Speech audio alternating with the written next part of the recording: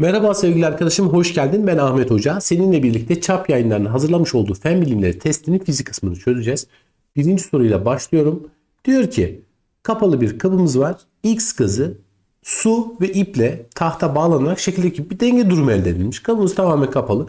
Tahtanın bağlı olduğu ip kesilirse tahtanın öz kütlesi sıvının suyun öz kütlesinden daha küçük olduğu için bunu kestiğim zaman ipte bir gerilme kuvveti varsa zaten tahta yukarıya doğru gidecek. Bunu çok iyi biliyorsun. Tahta şu şekilde yukarıya doğru giderken hani tahta yukarıya çıktığında kabın içindeki sıvı seviyesinde belli bir miktar ne olacak? Azalma olacak sevgili arkadaşım. Yani bu seviye buradayken seviye bu seviyenin ne olacak? Altına inecek. Mesela atıyorum şuralara bir yerlere gelecek. Tahtada sıvı içinde yüzmeye devam edecek. Sıvı seviyesi neden azaldı? Çünkü tahtanın sıvı içerisinde batan hacminin bir kısmı sıvı dışına çıktı. Peki soruda ne diyor? Suyun hacmi azalır diyor. Şimdi suyun hacmi azalır. Ya arkadaşım suyun hacmi niye azalsın? Biri suyu içti mi? Su, su bir yere mi döküldü? Sıvılan hacmi sabit tamam. Suyun haşı azalacak ama hacmi azalmayacak. Bu hacim sıvının miktarıyla alakalı. Yani kütlesi değişmedi. Öz kütlesi değişmedi ve o halde hacmini değiştirmedik biz. Sadece seviyesini aşağı indirdik. Gazın basıncı değişmez. Burada gazın basıncı ile ilgili her zaman ben şunu söylerim sevgili arkadaş. Bak şurada bir kabınız var. Kabımızın hacmine V kap dediğimizi düşünelim. Bu kabın içerisinde neyle doldurduk? Önce onu yazalım. V kap dediğimiz şeyin içerisinde bir miktar su var. Doğru değil mi? Artı bir miktar tahtanın hacmi var. Şuraya tahta diyelim. Artı bir de V gazın hacmi var. Şimdi dikkat edilmesi gereken tahtayı kessek de bunun hacminde herhangi bir değişiklik yani ipi kestiğimizde de hacminde herhangi bir değişiklik olmadı. Şu sabit. Suyun hacminde herhangi bir değişiklik olmadı. Bu da sabit. E kabın hacmi de sabit. O zaman gazın hacmi niye değişsin? O zaman gazın hacmi değişmez. Yani buradaki hacmimizin ne olduğunu rahatlıkla söyleyebiliriz. Sabit bir hacimde olduğunu söyleyebiliriz. Şimdi bundan sonra ne diyeceğiz? Gazın basıncı diyor. Gazın basıncına bakacak olursak gazın basıncı ile ilgili denklemimiz neydi? P çarpı V. Şöyle düşünsene P çarpı V eşittir N çarpı gazın miktarı yani mol sayısı çarpı R çarpı T. O zaman gazın mol sayısında herhangi bir değişiklik yok. Gazın işte RT değişmedi, sıcaklık değişmedi. O zaman hacmi sabit olduğu için gazın basıncı değişmez ifadesi doğru oldu. Suyun yere göre potansiyel arası azalır. Şimdi burası ne, ne vardı burada? Tahta vardı. Tahta yukarıya çıktığında yukarıdaki su tahtanın yerine gelecek. Yani su molekülleri yukarıda su kütlesinin bir kısmı tahtanın yerini doldurduğu için aşağı indi ve su azaldı aşağı indiği için potansiyel enerjisi azaldı. Doğru bir ifade. Yani cevabımız ne oldu sevgili arkadaşım? 2 ve 3 yani D seçeneğini işaretledik değil mi? Peki hemen şimdi devam edelim kaçıncı soruyla? İkinci soruyla. Altının ayarı saf altına bakır karıştırılarak yapılıyormuş. Bakır oranı arttıkça altın ayarı düşüyormuş. Taşma seviyesine kadar sıvıyla dolu 18 gram kütleli daha doğrusu eşit kütleli ha 18 gram değil eşit kütleli bu önemli sanırım. Buraya dikkat etmemiz gerekiyor. Eşit kütleli 18 ayar ve 24 ayar altın bilezikler atılıyormuş. Şimdi burada neye dikkat etmem gerekiyor? Eşit kütleliler, emleri eşit ama ayarları farklı. Altının öz kütlesi en büyük, bakırınki daha küçük, sıvınınki zaten en küçük olarak düşünülmüş. Bir kabımız var. Bu kabımız ağzına kadar bir sıvı ile dolu. Yani şöyle bir seviye olarak bunu belirtebilirim. Şöyle de hani alttan da şöyle düşünecek olursam bir de şey yatay bir düzlemin üzerinde olduğunu düşünelim. Şöyle bir düzlemde ağzına kadar da sıvıyla dolu bir kabımız var. Böyle tamamen içi sıvıyla dolu sevgili arkadaşım. Full. Değil mi?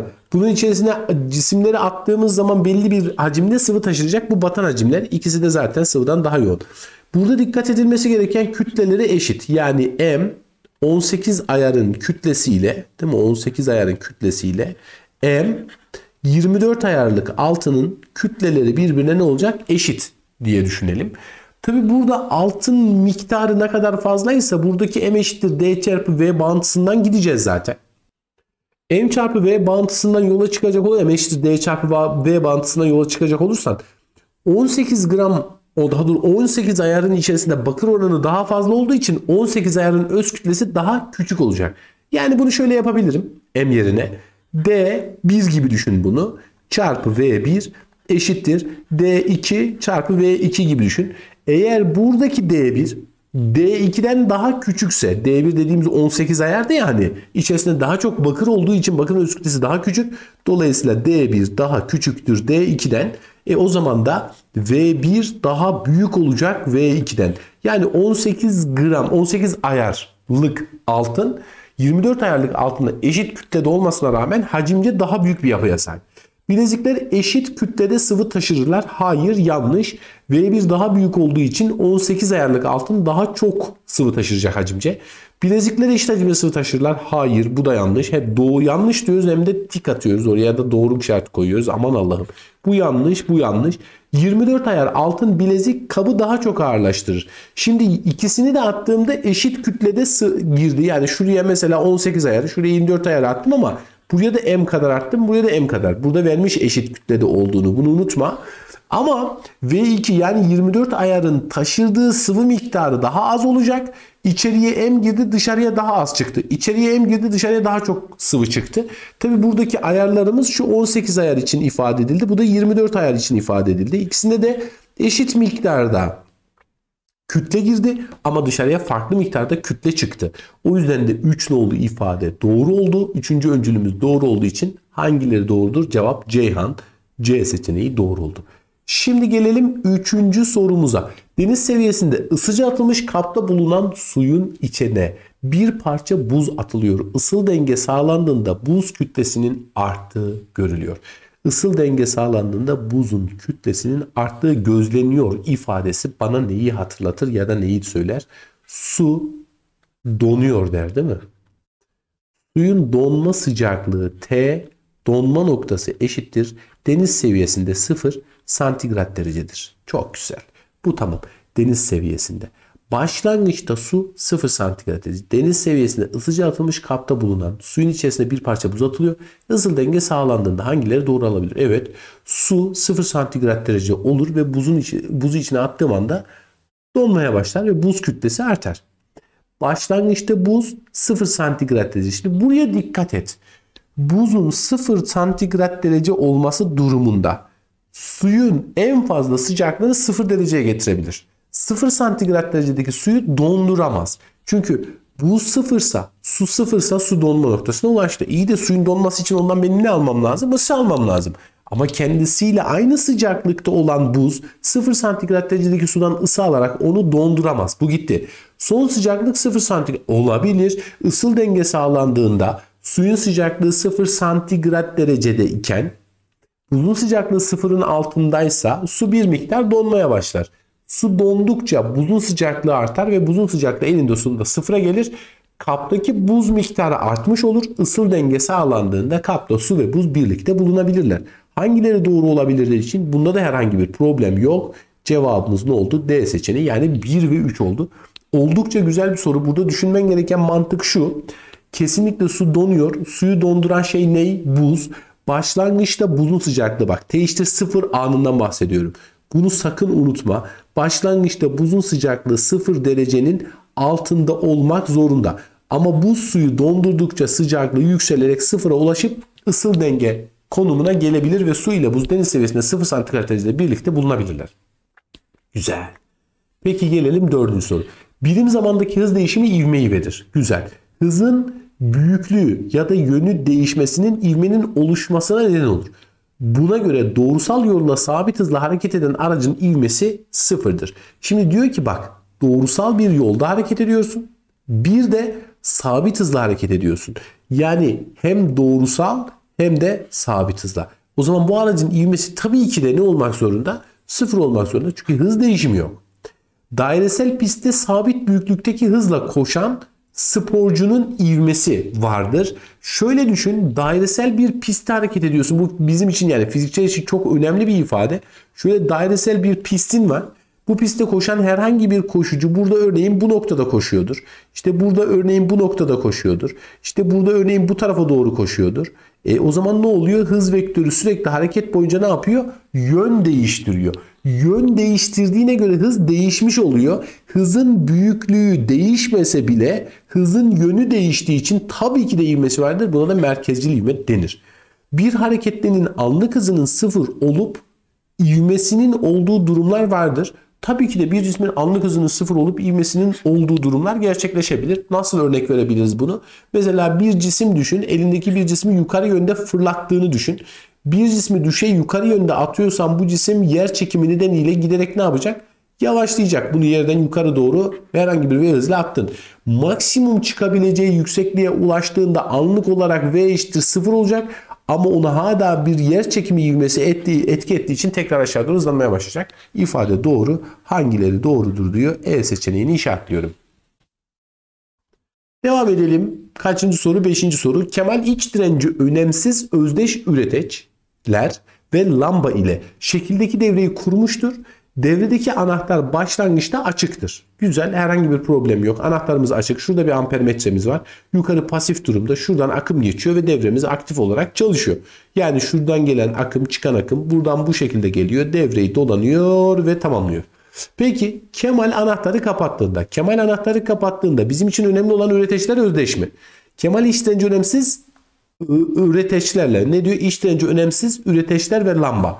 Tabi Kemal anahtarı kapattığında lambanın parlaklığı değişmez. Hangileri doğrudur? Ben burada özdeş üreteçler olarak aldığımı düşünsem. Lamba ile şekilde gidelim. Kapat. Evet. Şimdi özdeş olduğunu kabul edelim. Tabi burada kesinlikle dememiş. Doğrudur gibi bir ifade var. Anahtarı kapattığımda bu ve bu ve ise paralellikten lambanın parlaklığı değişmeyecek. Çünkü hala voltajımız V'ye kadar olacak. Piller özdeş ise. Ampermetrenin gösterdiği değer azalır diye söylemiş. Şimdi şöyle düşün sevgili arkadaşım. Lambanın voltajı V ise hala lambanın üstünden aynı akım geçiyor. Az önce bu akımı tek başına bu sağlıyordu. Şimdi ikisi birlikte sağlıyor. Yani şöyle düşünecek olursan buradan da I bölü 2 geliyor. Artık buradan da I bölü 2 geliyor. Demin bütün akım buradan gelirken ampermetre I'yi gösteriyordu. Şimdi I bölü 2 I bölü 2. O zaman ampermetrenin gösterdiği değer ne olur? Azalır. Lambanın ışık verme süresi artar. E tabii ki de pillerden daha az akım çekiyorsun. O zaman lambanın ışık verme süresi artacak. Pillerin iki tane olduğu için tükenme süreleri biri T'ye kadarsa ikisi birlikte 2T'ye kadar olacak. Tabi burada pillerin özdeş olması önemli. Yoksa piller özdeş olmazsa zaten lamba direkt söner ve yanmaz. Güzel. Peki devam edelim. Hmm, altıncı soru şurada yan taraftaymış. Birim kare bölmüş düzlemde bulunan düzlem aynaya gelen I ışını şekildeki gibi yansıyor. Buna göre K noktasındaki ışıklı cismin düzlem aynadaki görüntüsü kaç numaralı nokta olur? Şimdi düzlem aynada yansıma kurallarını biliyorsun sevgili arkadaşım.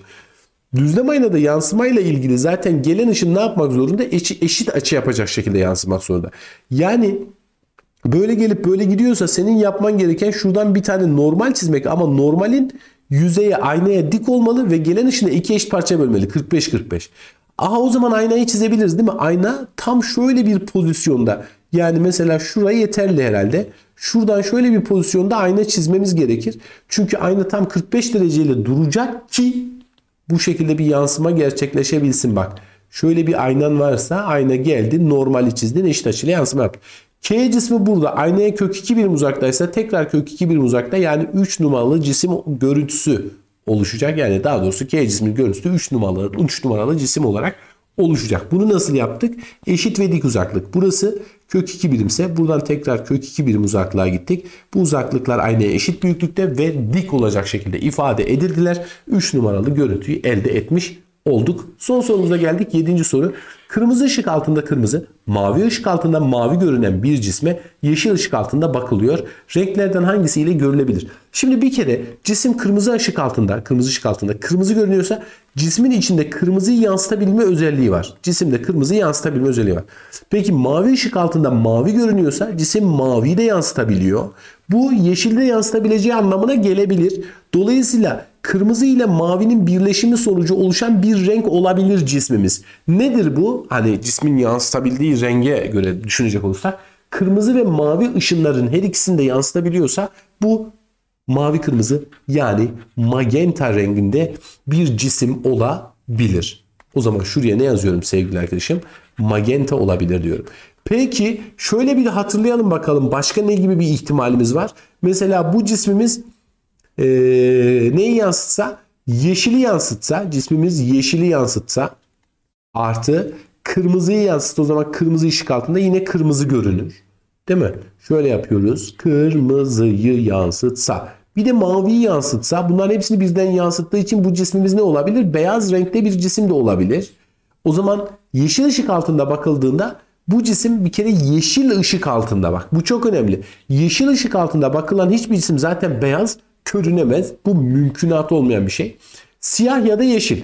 Ha, eğer bu adam kırmızı ile mavinin oluşumu sonucu oluşan magenta ise o zaman siyah görünür. Eğer yeşil kırmızı mavi sonucu oluşan beyaz bir renkse o zaman da yeşil görünür. Yani C cevabı bana ne yaptı göz kırpıyor. Yalnız yeşil.